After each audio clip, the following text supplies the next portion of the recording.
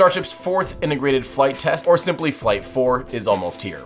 Riding off the successes and learning from the failures of the third flight test, the fourth flight test doesn't have a lot of big, notable hardware changes, but there are a few noticeable tweaks and improvements. I'm Tim Dodd, the Everyday Astronaut, and today we're going to do a quick overview of what's new and different between Starship's Flight 3 and Flight 4, including hardware tweaks, changes to the launch pad, as well as some changes to software in the flight profile. Then we'll go over some expectations and what we will hopefully see next in this exciting Starship program.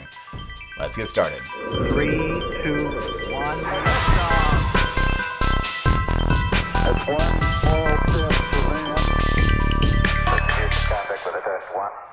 This video is sponsored by Ground News. Now before we start here, we gotta give a huge shout out to the Ring Watchers community who has been diligently tracking and documenting everything we talk about in this video. If you want an even more in-depth rundown on some of the specific hardware, be sure and check out their article. There's a link in the description. Okay, let's start off with the launch pad. Since Starship's third flight, we've seen SpaceX continually upgrading and maturing the launch pad. Most notably, the biggest horizontal tanks in the tank farms are now online and supplement the old vertical tanks that are being retired and continually torn down. Now these tanks likely won't decrease prop load times, which is already ridiculously quick as of Flight 3, but they will help continue the expansion of storage, which will help with recycling times and reduce times between launches. The last of those two old suborbital launch pads has been decommissioned, with the ship test operations now happening at the other test site, Massey's. This is to help make room for the second orbital launch tower, which is super exciting. Another upgrade to the launch pad is with the quick disconnect for the ship that likely features some upgrades to help increase reliability and decrease refurbishment time. And lastly, there's a fresh coat of paint all over the launch pad, and it frankly looks really good. But that's really the main things that have changed at the pad since the last launch, which brings us to some of the changes to Starship. By far the biggest change between S-28 from Flight 3 and S-29 with Flight 4 is the attention to detail going into the heat shield. Now that SpaceX knows they can get Starship to reentry, it's important to really spend the extra time to make sure the heat shield can do its job. Prior to Flight 3, there really was almost no point in putting hundreds or thousands of work hours into the heat shield if they didn't even think they would make it to reentry.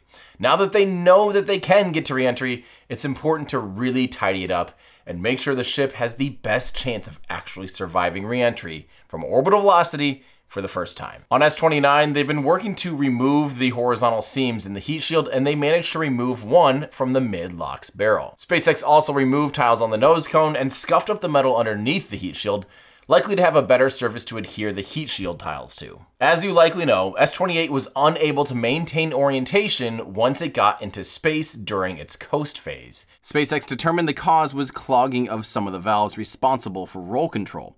They've addressed this by upgrading hardware to be more resilient to blockages such as this, and they've also added another set of roll control thrusters for redundancy. Some of these changes were a once hotly debated topic, and the best tool that I've discovered to verify sources of information and get all sides of any story is from our sponsor, Ground News. Ground News is an app and website that gathers news articles from more than 50,000 sources from around the world in one place so you can compare how different outlets cover the same story.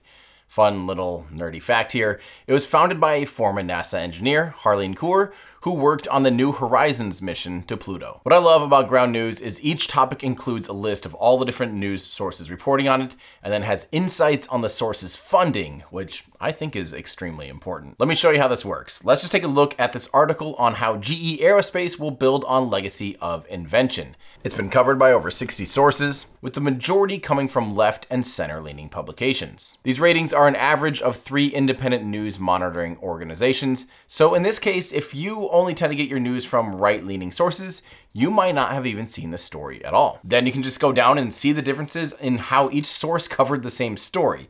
It's been fun for me to read through and see how their headlines differ on the same topic. Even with something as simple as this story. Then you can just click through to the ones that you think will report on it most accurately based on what you find most important. Ground News has helped me find balance and healthy truth between the clickbait.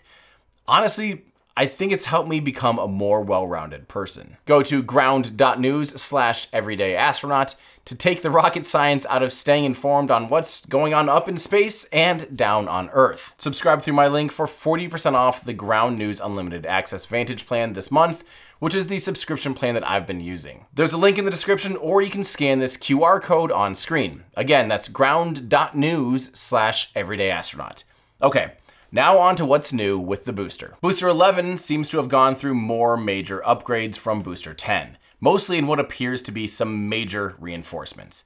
The methane tank went from 24 internal stringers to about 74, so a threefold increase. There are also stringer doublers added at the top at the aft end of the LOX tank, then there are additional supports and stringers added below the grid fins, basically doubling the thickness. All this is likely to help improve the rigidity of the booster when it's unpressurized and perhaps help it flex less on reentry, which we'll talk a little bit more about here in a second when I talk about expectations. The cowbell deflectors on the four LOX tank vents have been massively reinforced, why, we're not sure, but perhaps they were damaged during reentry on Flight 3. There was also a new vent doubler plate opening on the methane tank. On Flight 3, six of the 13 engines used during the boost back and landing burn shut down prematurely during the boost back burn due to some kind of filter blockage in the oxygen feed lines. To address this problem, SpaceX has added additional hardware to improve filtration capabilities, and they've also changed the startup procedure to light Raptors for landing burns. Now, there's likely been hundreds or even thousands of changes since Flight 3,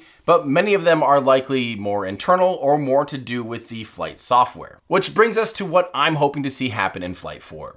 SpaceX made some really good progress, but they're still needing to get both vehicles to splash down successfully before they can move on to the biggest hurdles of reuse and eventually rapid reuse. For a booster splashdown, they plan to do a virtual tower catch. So basically aim at a precise location in the Gulf and then attempt to control the booster precisely enough to validate the ambitious Stage Zero Mechazilla catch. Now this was a goal for Flight 3 as well, however the booster definitely didn't have control during reentry. Now a few things to keep in mind. Because the booster is made out of stainless steel, SpaceX is trying to forego a reentry burn and just hope the booster holds up as it hits the atmosphere, kind of like what Rocket Lab does with their Electron. And as we saw on Flight 3, it made it through reentry, it just didn't maintain control once in the lower atmosphere. This is one of the biggest reasons why I think we're seeing such massive reinforcements on the booster.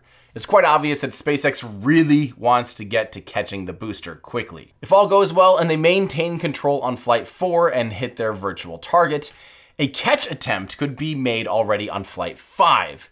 But I wouldn't be surprised if they would want to demonstrate a few successful targeted splashdowns before a catch attempt. Speaking of successful targeted splashdowns, we are really expecting the ship to make it through reentry this time, or at least a lot further along, because SpaceX is spending a lot of time fixing up the heat shield tiles. But the best heat shields in the world won't do anything if the vehicle can't maintain orientation leading up to reentry, so the ship comes in at the correct attitude, where the flaps should actually have control, and that's something that we didn't get to see last time. I have some pretty big expectations for ship reentry.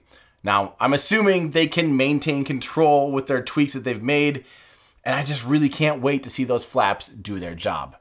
And hopefully we'll get absolutely incredible footage again. But perhaps the most exciting change for Flight 4 is if Starship makes it through reentry, we'll actually see it attempt to do the propulsive landing and not just belly flop like what it was going to be doing had it made it that far in one of the first three flights. Now, it's a bit confusing why they didn't just implement the flip and landing burn in the previous attempts, but it seems like SpaceX just wasn't even sure it was going to get that far and figured adding the additional software was just unnecessary work at the time. And perhaps Starship's only currently capable of one relight for now anyway. Another thing that was talked about a while ago, but we'll finally likely see, is a jettison of the hot staging ring after the boost back burn to reduce booster mass prior to the landing burn. Not exactly sure why they're doing this other than again to reduce mass, but it sure will be a fun thing to look for. However, it does seem that on Flight 4, SpaceX won't be attempting to do a simulated deorbit burn with Starship, meaning they won't demonstrate an on-orbitish relight of a Raptor, likely because they think demonstrating re-entry is a more important goal than a relight for now. This means that they'll still need to demonstrate a relight before they do a proper orbital mission, as they'll need to prove that they can control Starship's deorbit, so they don't leave a 100 plus ton metal hunk of space debris in orbit that would end up re-entering uncontrolled. But hopefully they'll demonstrate that relight later this year, and if they do, it makes me feel really good about them hopefully deploying some payloads by the end of the year, specifically Starlink satellites. By using Starship to launch Starlink, it's again the perfect opportunity to push the boundaries, do some legit work while practicing recovery, and work on picking up the launch cadence. But that's what I'm hoping to see on Flight 4. What about you? Think Flight 4 will go better than Flight 3? Think we'll see a landing burn on the booster and a successful splashdown? Think ship's going to make it through reentry? Let me know your thoughts in the comments below. And thanks again to Ground News for sponsoring this video. Subscribe through my link for 40% off the Ground News Unlimited Access Vantage plan this month which is the subscription plan that I've been using. And a huge thanks to our Patreon supporters, YouTube members, and ex-subscribers for helping make content like this possible. If you want to support the work we do, the best way is through Patreon at patreon.com slash everydayastronaut. And don't forget too, I do have a new podcast. I feel like I need to talk about this more often. Spacewalk podcast. Find it wherever you listen to podcasts. It's kind of a good little filler between, you know, when I'm making these really long form videos. I'm currently working on like, actually, I'm currently working on three videos, and one of them is already uh, over 15 pages long. So uh, there's definitely some really exciting videos in the works, but in between, I know you guys have been wanting some more content. So yeah, you can listen to Spacewalk wherever you find podcasts. It's just nice and casual good little fillers here and there. And while you're online, be sure and check out our merch store for shirts like this, our awesome orbital shirt, which now I know Starship's not quite going into orbit this time, but it will be soon and we're ready for it. And you know, orbital, it's orbital velocity. And actually we, we have little cheat sheets on here. You can see all the different orbital velocities and orbital parameters for different orbits, you know, LEO, medium Earth orbit, geostationary orbit, translunar injection, all that kind of stuff. It's a little chart thing down here. But also don't forget to check out our RUD section or our rapid unscheduled discount section for 50% off of our remaining inventory of some classic shirts like our Aerospike shirt, our F1 shirt, and tons of other classics. So get them before they're gone forever. Thanks everybody, that's gonna do it for me. I'm Tim Dodd, the Everyday Astronaut, bringing space down to Earth for everyday people.